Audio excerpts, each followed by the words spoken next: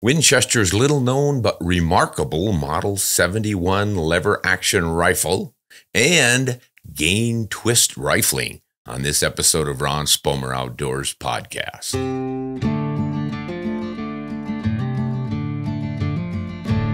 Hello, everyone, and welcome to another episode of Answering Questions and Trying to Come Up with the Right Answers.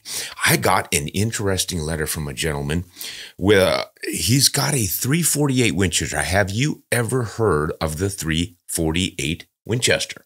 It's kind of a famous round, even though it wasn't all that popular.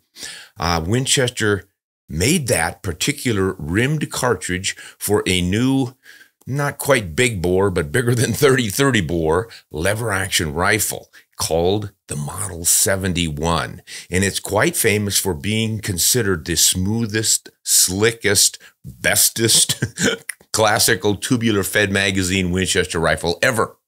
Uh, and this gentleman has got one. He writes in that his father had them. He said, at one point, my father had a, I had three 348s causing a friend to say of my father, he is the curator of 348s. Uh, what this gentleman never says is Model 71, because the 348, of course, is the cartridge, not the rifle. My father ended up selling one and leaving one to my brother and myself. About that, I think he means one to each of them.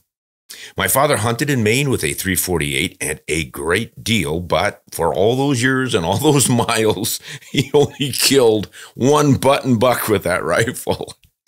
I myself am not real fond of peep sights in low light situations. The 348 has gobs of personality and it's such a smooth lever action. He's got that right. In looking up prices for the 348, this would be used rifle prices. I saw several of them for sale with scopes mounted, one attached to the side, and that was on a hinge to flip out of the way. And one of them had a scope that mounted way down the barrel. Must have been a pistol scope with long eye relief. Yeah, you got that right. As neat as the 348 is, I just can't find an application for it in my life. My disability requires flat shooting rounds with a good scope. When very young, I did extensive hunting with the Model 94 3030, which is the little brother to the 348, killing many groundhogs with it. That was my high water mark with Winchester's lever action rifles. And that was Carl. Carl, I want to thank you for bringing that up. Uh, now, the 348 Winchester is, is also interesting, and it's the only 34 caliber. Why Winchester went with a 348 instead of a 358 kind of is a mystery.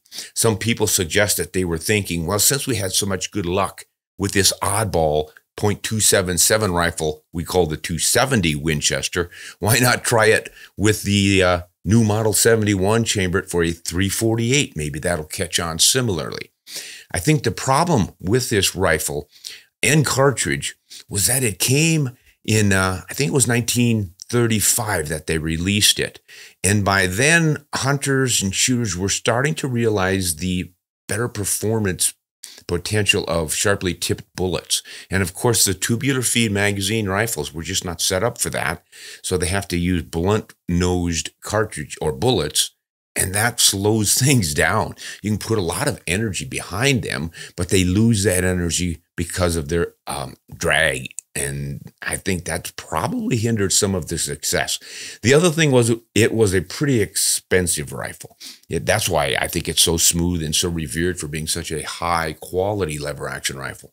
But it did have a lot of punch and power. I think it was throwing 200 grain bullets around 24 100 feet per second. So it was good in the woods for deer, especially, but black bears and elk real well too. But it was a heavy rifle. It was essentially the 1886, which was the really big, strong Winchester designed by John Moses Browning with two big locking bars coming up at the back of the, the bolt body. Um, so it was really strong and could handle the higher pressures and such. Only 70,000 or so of them were made between release in about the mid 30s up until around 1950. And by then, I think most hunters are going with faster cartridges like the 30 6 family and into the Magnums. But boy, if you want a, a lever action rifle that is hard hitting and smooth and all the rest of it, something really special, look around for a used model 71 Winchester and you'll stumble onto it. Like maybe you could have your dad uh, gift one to you, like Carl had here. But thanks for bringing in that up, Carl. I really appreciate that. We don't get often opportunities to discuss the Model 71 because there's just so few around. You don't see them very often. Now, Winchester did release a new version of it several years ago.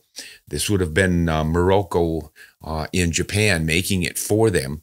I did test fire one of those several times. it, it is as advertised, very smooth lever action rifle. But like Carl, I just couldn't find a specific use for it, so I didn't pick one up. I think the 358 Winchester cartridge is actually providing better ballistics. And that, of course, is the 308 necked up to 35.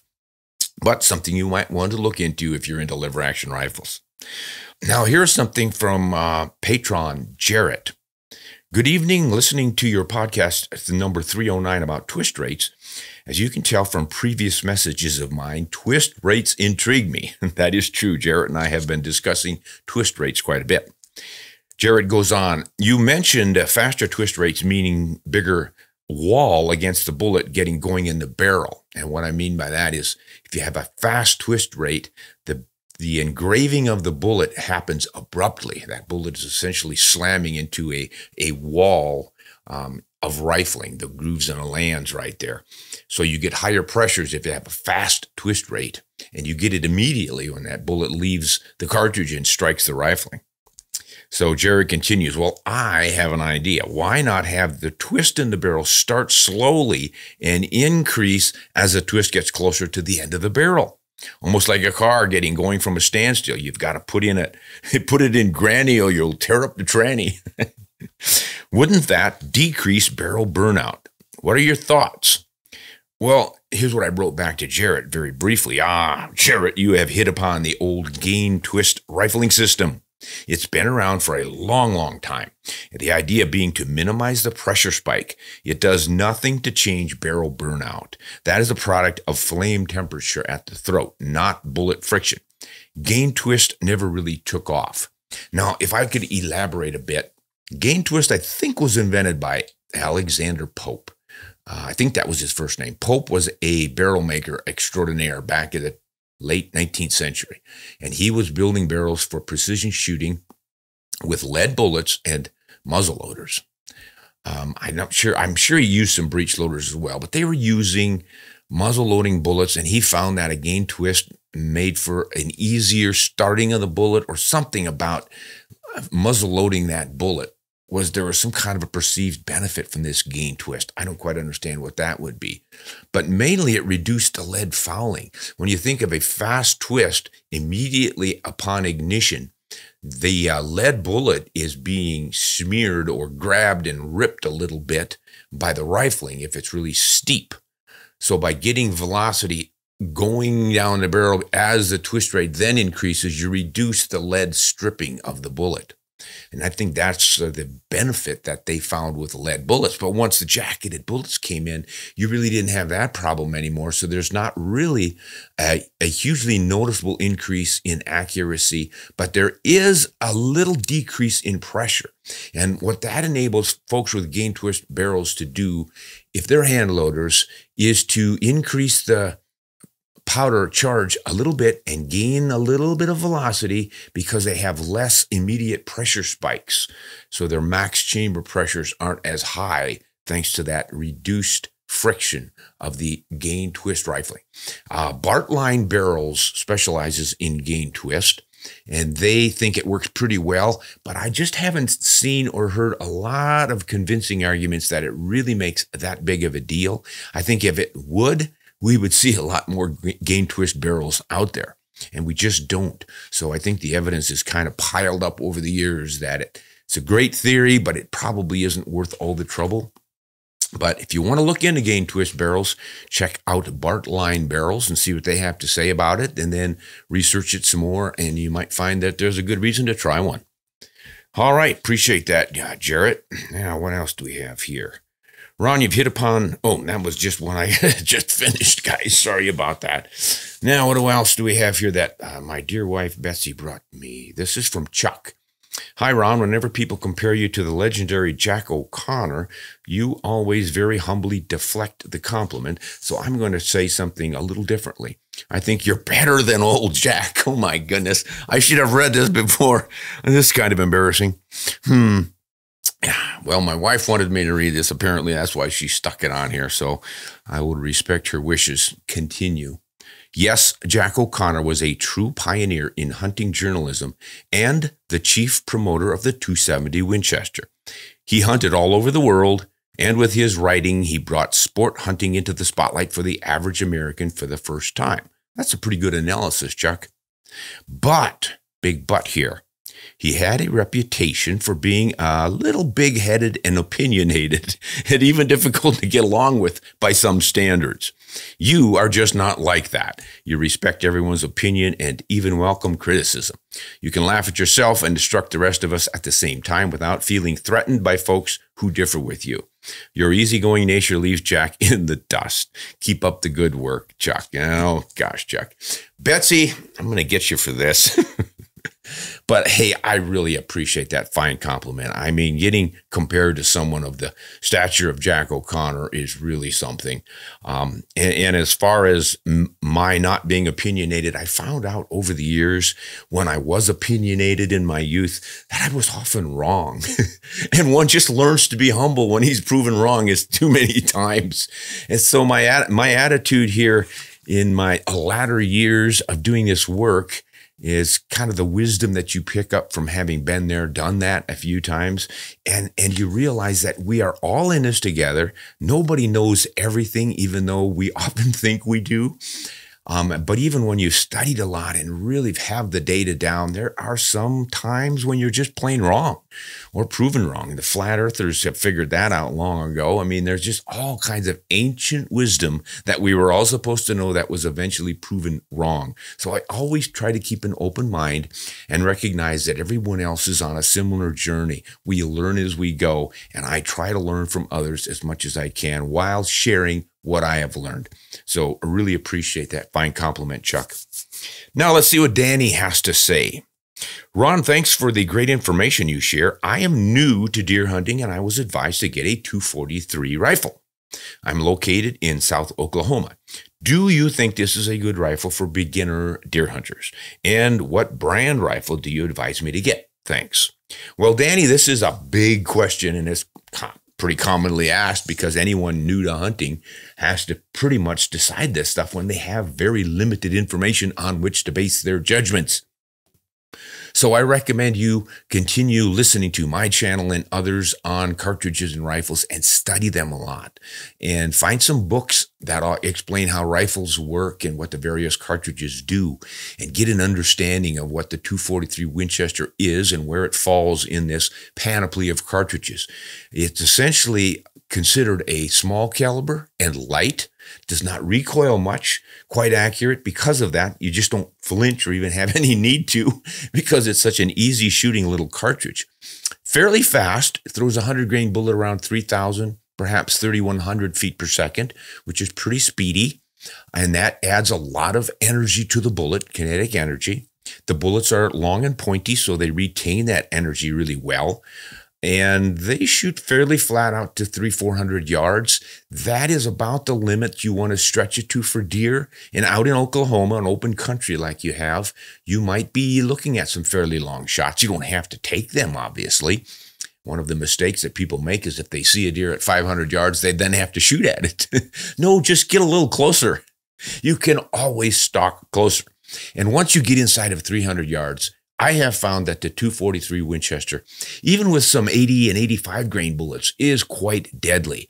Uh, you just need to park that bullet behind the shoulder, unless you're using an all copper bullet or a premium controlled expansion bullet, such as uh, Nosler Partition, Swift A frame, or some kind of a bonded bullet like um, AccuBond, something like that that stays together and retains its mass to keep penetrating deeply.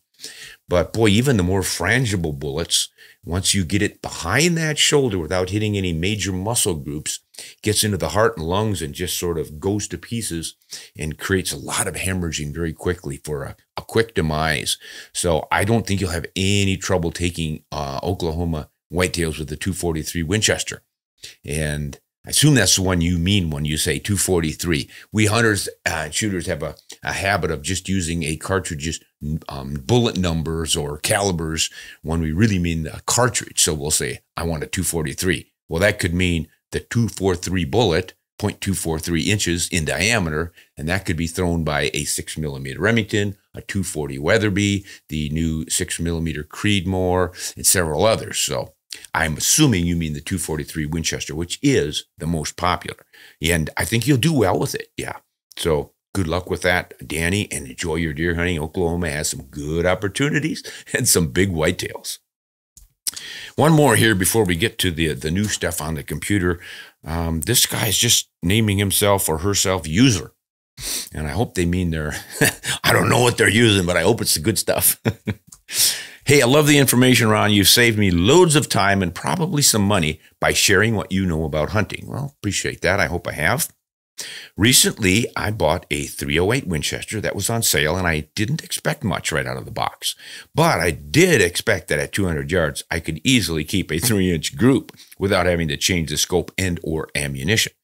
I zeroed it at 100 yards, no problem. Five shot groups, and I increased it to 200 yards. My first five shots were completely off the page.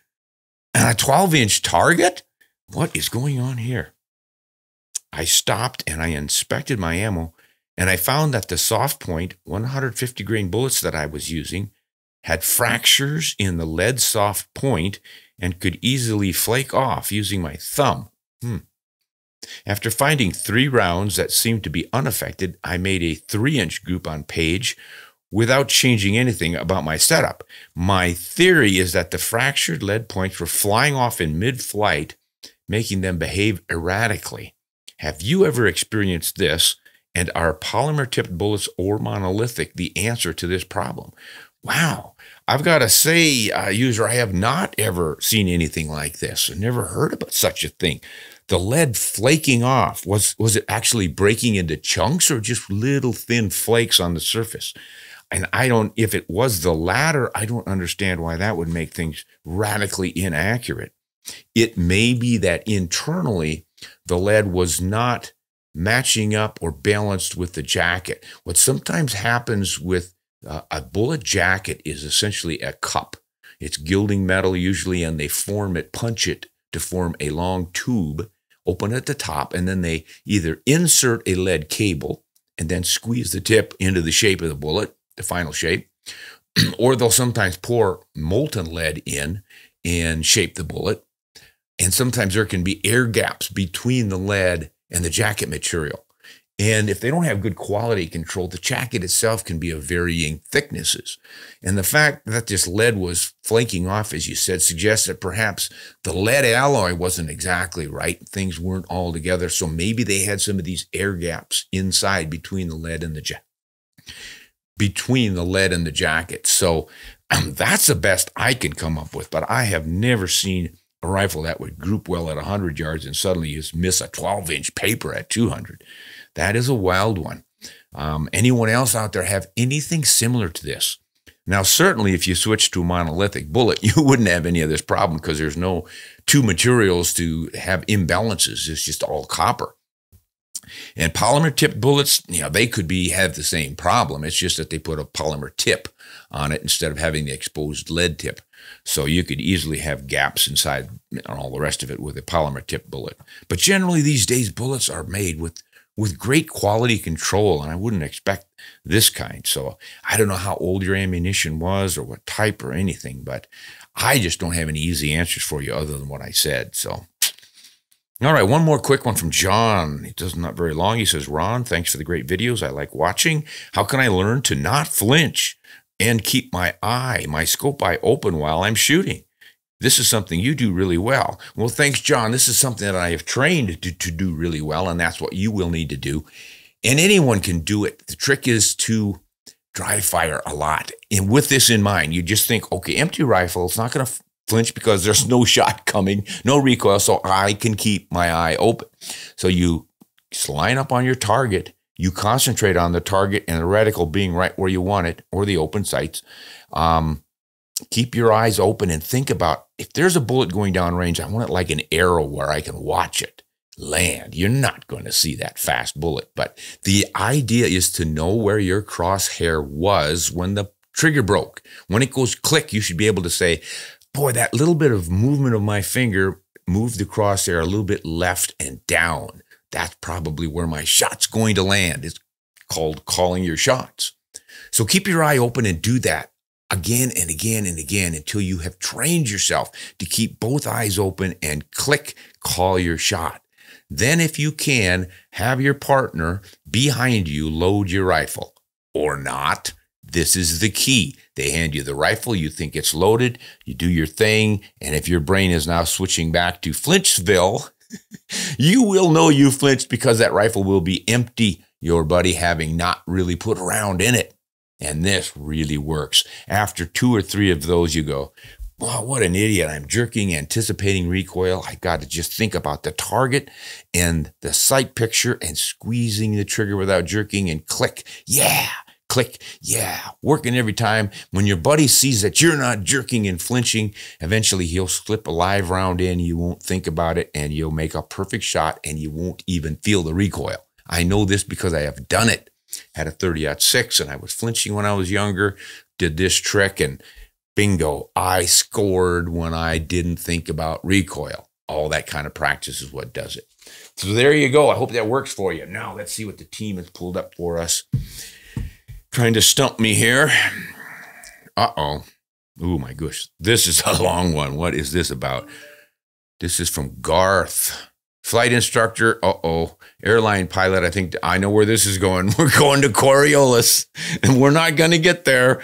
No, it looks like he has a good long explanation, but I don't know that anyone wants to hear it. So we're just going to breeze through it here really quickly. Inertia, spin of the earth, all this.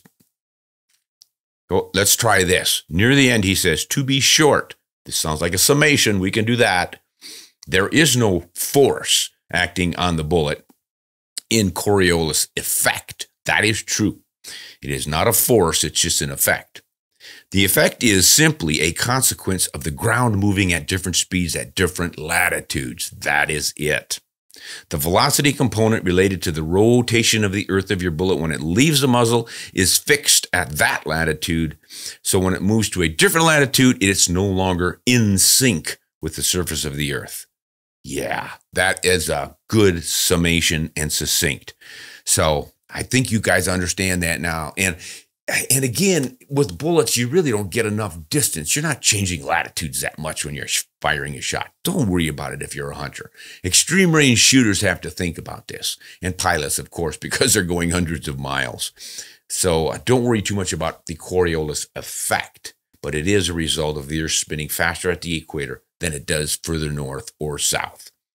All right, here is someone from Ireland, Ivan from Ireland. Hi, Ron, can you advise if any SA shotgun should be compared to a semi auto rifle uh, if it was using slugs and rifle chokes? I'm not sure I'm driving what he's driving at here. Can you advise if or any SA shotgun could be compared to a semi auto rifle if it was using slugs and chokes rifle chokes. SA centerfire rifles are hard to obtain in Ireland, hence the line of questioning. Looking forward to hearing your thoughts. Shotgun, single action shotgun is you mean by SA. At any rate, it comes down to what can he get using slugs in a shotgun and a rifle to choke? Well, you can get pretty reasonable accuracy. You're not going to match up with a rifle for, for fine accuracy, but gosh, you can keep it at least inch and a half um, at 100 yards. I've seen that happen with the right combination, the right slug, the right twist, um, whether you go with sabots in your slugs or any of the different options. But what the big problem is with shotguns and slugs for inaccuracy is the loose fit. With rifles, we've got a real snug connection between the barrel and the action. And we make sure everything is perfectly concentric and all this nitpicky stuff with blueprinting your actions. Then you grab a shotgun and you pull the barrel off and you put the barrel back on and you turn it on with a little nut on the front under a semi auto or a pump action You just don't build shotguns as rigidly as you do rifles. Plus, the barrel is fairly thin, not heavy and thick like a rifle, so it's going to have a lot more vibrations and oscillations and things. So, if you can find a shotgun that's specifically designed for slugs, like the, let's see, there's a Savage rifled shotgun slug barrel, thick, heavy barrel, um, built a lot more strength and integrity than your typical shotgun barrel. That is going to help a lot. Uh, there are there were single shot slugsters. I think H and R had one. Maybe they still do. That were built similarly, real stiff and strong with thick barrels. That's what you want to look for to help with your accuracy. But boy, out to some of those shotguns can be pretty accurate out to 200 yards. And I have heard of guys who really work with it and tweak it, and they can get to 300 yards. But remember, they're using sabots, the plastic skirts around a smaller bullet, so it's not the full diameter one. That gives you a higher ballistics coefficient for better long range performance on drops and deflections in the wind and such. But it can be done, Ivan. So look for that. Heavy, stiff, well built. Some guys will even epoxy the barrels into the actions of shotguns to make things stiffer. Lots of good options there. You might want to look into that stuff. All right, this is from Oregon, Jonathan. Hello, Ron. I'm a big fan of this show. Uh, I'm waiting to get into read. Oh, I'm wanting to get into reloading and wondering how to safely explore and experiment the endless combination of loads? Well, that's a simple answer, and I've given it many times on this show. It's just get those hand loading manuals and study them. Read from chapter one on through. They give you all the information you need on what's going on and how to do it. And then just follow the recipes. Get their starting load. This is a safety factor. You use a low dose of powder as listed in there, and then you work your way up to choose which powder, I always go to the one that looks the most efficient out of their list. They'll usually have five to 10 different powders for any one particular bullet load in one cartridge. Uh, so you say, well, this one peaks out at 2,700 feet per second. But this other powder, they get a top end velocity of 3,000 feet per second. Suggests that that one has a lot more potential. So you can look at that other hand loading manuals will usually highlight the most accurate load. You might want to try that. A particular powder seems to produce the best accuracy. So a couple of routes you can go there. But that, that is really the simple way to do it. Now, I will mention that we are thinking about producing a hand loading course. It would be me hand loading, showing all the tools and describing what to do and what problems to look out for and little tricks of the trade and offering that for sale. Uh, my team is saying that those things are really popular. People like instruction like that. So I'm just wondering if any of you guys are interested in it. Let me know, write in and say, hey, yeah, I'd love to uh, see a course on how to hand load. And if we get enough interest, we will produce these in in segments, I guess. You know, I'll do a 15, 20 minute, maybe a half hour, keep them fairly simple and understandable so they don't drag on like I'm prone to do sometimes. and uh, man, maybe you guys be interested in that. So let me know. All right, Danny from Johannesburg. You might pronounce that Donnie, I think. Hi, Ron. Thanks for the great podcast and your YouTube channel. As a new hunter, I have really learned a lot from you, and I truly appreciate that you share your expertise, especially as you have experienced hunting in Africa. I have a question about laser bore sighters. I have recently bought a new rifle and scope, and I've seen that there are many laser bore sighters on the market that promise to keep your sight in your rifle with amazing accuracy and it save you from wasting bullets on sighting in. Are laser bore sighters really worth it? Or is it just a money making scheme? Are they worth it? Which one is the best? I see two main types one that looks like a cartridge that's inserted into the chamber, and another that it is inserted into the front of the barrel. Or are these just a waste of money? I'd like to hear your opinion.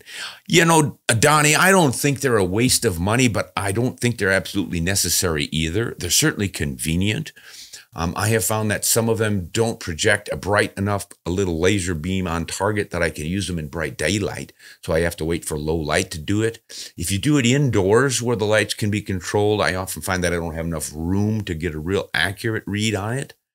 But they certainly do work in both types. I like the ones that go into the chamber, but those don't always fit every chamber size.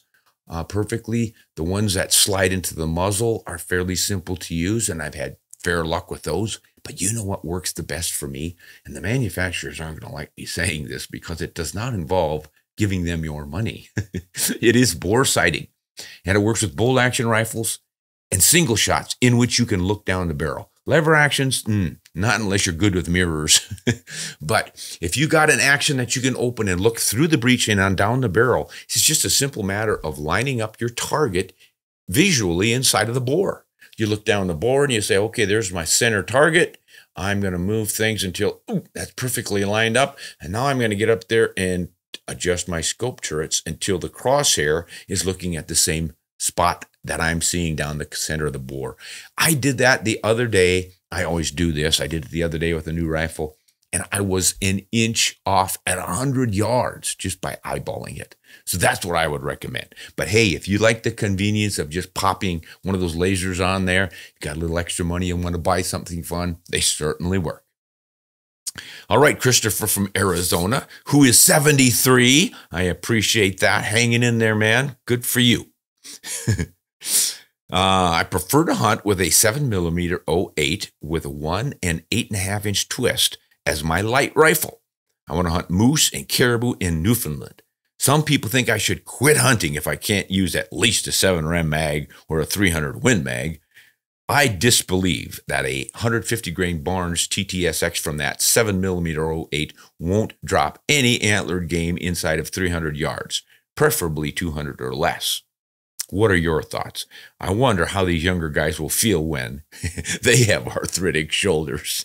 yeah, I'm all with you here, Christopher. A lot of guys are in your boat, um, including some friends of mine. When you start getting shoulder issues and shoulder pain and stuff, you just don't need high recoiling rifles. And the, the point is, your 7 millimeter 08 is more than capable of taking down the biggest moose in Newfoundland or anywhere else.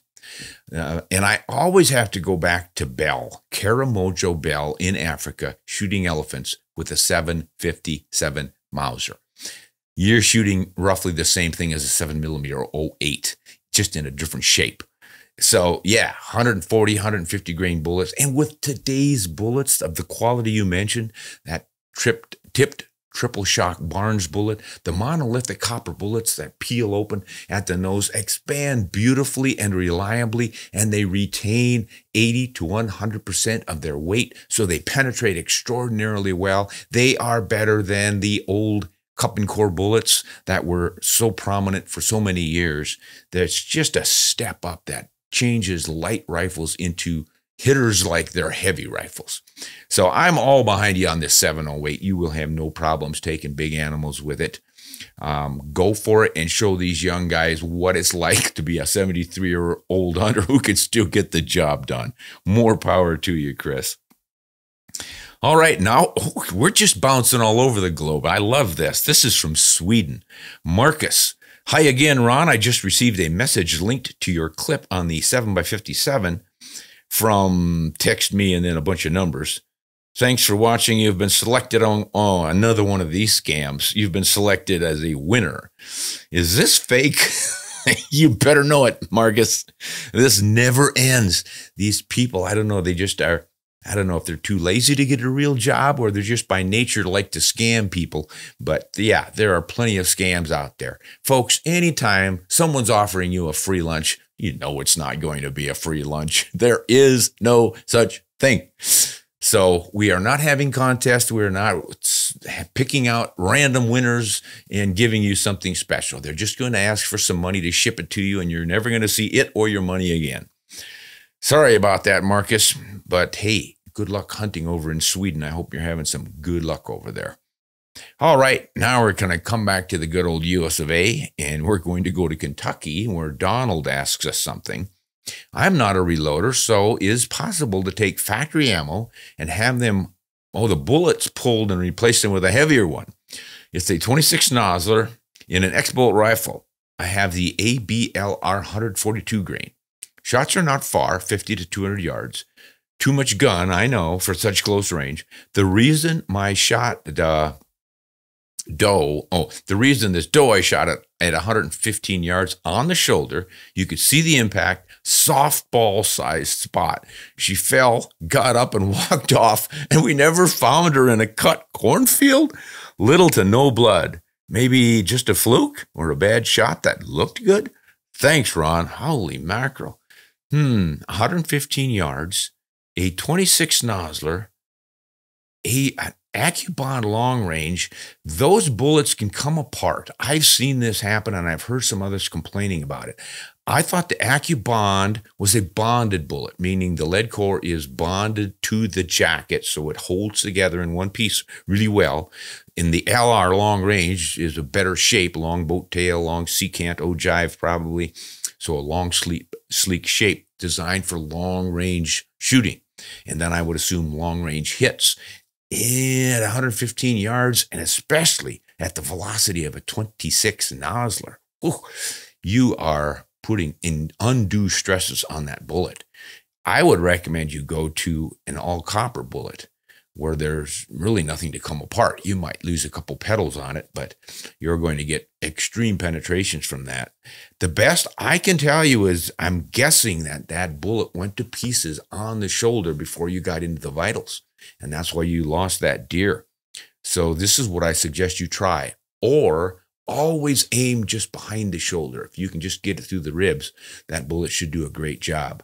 But you've got a lot of velocity in that 26 Nosler right there. That is a better application for some 300 to 500 yard shots rather than 115. So that's my take on it, Don. Good luck with it. That looks like it. So Thanks to everyone, and apologies to Garth. Garth was the uh, pilot who gave us this long description of Coriolis, and while I didn't read it all, his summation was spot on. So I suspect the details in this letter were spot on as well. So I just didn't have time to read all of that, Garth. So Ireland and and South Africa and Sweden, this was great, guys. Appreciate y'all writing in, and a special thanks to our patrons.